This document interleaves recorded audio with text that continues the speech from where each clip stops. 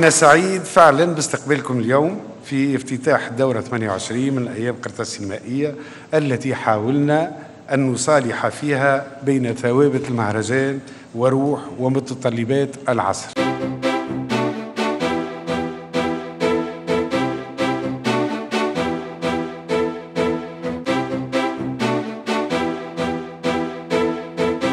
وهكذا نختتم سهرة الافتتاح لدور 28 لأيام قرطاج السينمائية أتمنى لكم أسبوع ماجيك.